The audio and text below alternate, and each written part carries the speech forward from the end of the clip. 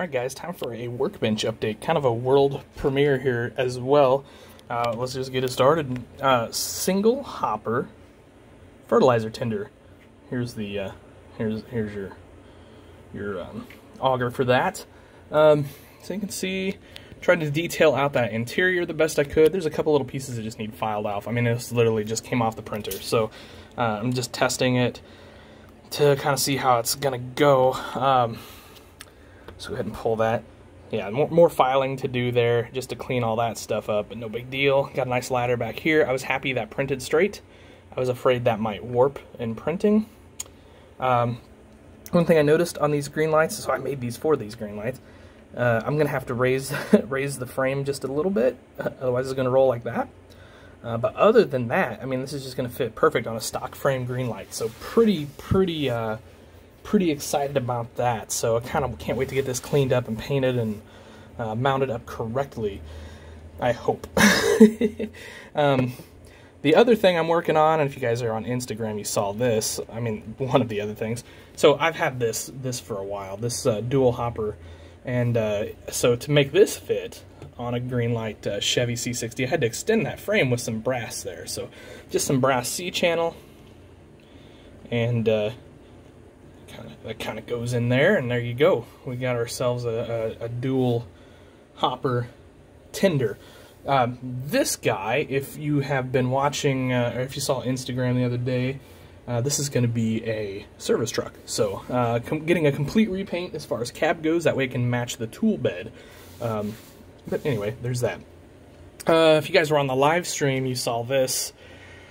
I don't know that that's the tires that are going on this, but it might be the tires that go on this. it might as well use them. They're off a big bud, so you might as well might as well get some use them. Put on a new hitch back there with the PTO. Got to do rails and all that stuff yet, mirrors and all that fun, fun things. Um, so I'll move this off to the side for just a minute.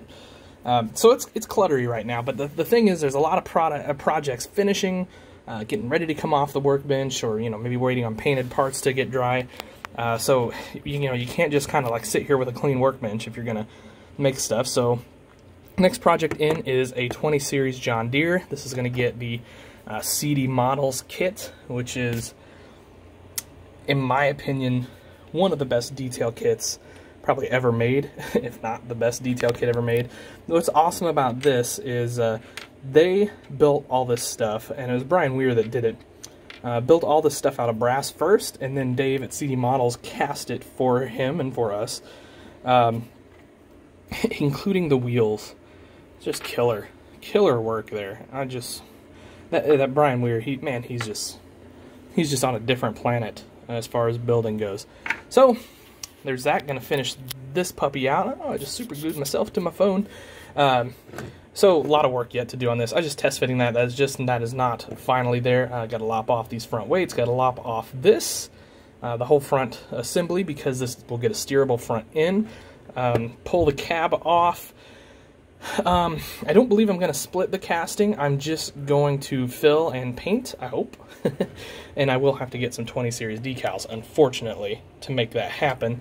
And um, right now, decals are hard to come by because there's some question marks in the industry, but I'll find some. Uh, other thing I'm working on here is a um, disc chisel. So I just got wheels and tires. Those are drying in the paint booth right now. And uh, that'll be done. I've got, I'm going to do, I think I'm going to do like three or four in that color, and then we'll do a few other colors just to, um, this, so this is, this is like technically the color this should be. It's what I was design, it was designed after, but uh, we'll do, uh, we'll do some other colors just for fun and uh, because people like them. And then I am sure you guys have by this point have seen my versatiles, uh, versatile kits. So this is uh, front step, rails, rails, rails, rails, more rails. um, flasher bar, uh, handle up there, all the uh, fixins back here, and then uh, more rails over here. So I think this kit looks sweet. I think it takes this tractor and puts it over the top, in my opinion. Just makes it a great tractor. Tried to detail that out the best I could anyway. So, um, you know, so, so let me rephrase that. I tried to detail that out the best I could without breaking the bank. Um, because what I'm finding, and like most of the requests I get, if I'm honest, is um, guys want tractors in, let's say, the 50 to $80 price range. This is going to be on the lower end of that for sure. This will be around 60 or 65 bucks.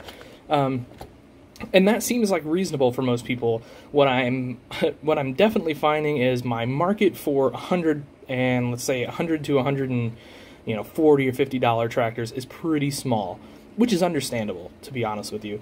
Um, so you know how could you turn this into a hundred plus dollar tractor? Easy. Uh, we're talking total repaint, fill in uh, this seam back here, and then do some detail work here with cylinders and all that sort of thing, drive shaft, etc., etc. Um, just not willing to do that, to be honest with you.